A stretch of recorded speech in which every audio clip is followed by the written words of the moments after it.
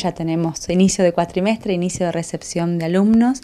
Eh, ustedes saben que el año pasado tuvimos la grata noticia de que dentro por lo menos de uno de los programas de movilidad Criscos estamos fuimos la universidad más elegida.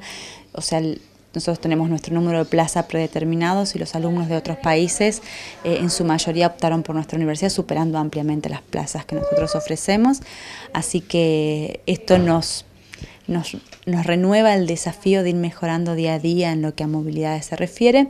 Vamos a recibir alumnos de todos los programas en los que estamos vinculados, como ustedes saben, ya sea Criscos, GIMA, MACA y también los otros convenios que tenemos, los otros programas que, están más radicados en facultades como Fritequia Fagri y otros convenios que tenemos que nos articulan con, con distintas universidades. Van a estar viniendo eh, en este momento, son 13 alumnos de grado, ¿sí? de Perú, de Colombia, de México, de España, de Francia y de Chile. Nos van a estar, y de Bolivia. Nos están visitando ahora, ya el jueves próximo, como la semana que viene terminan de venir todos, el jueves próximo tenemos como siempre el habitual desayuno de bienvenida.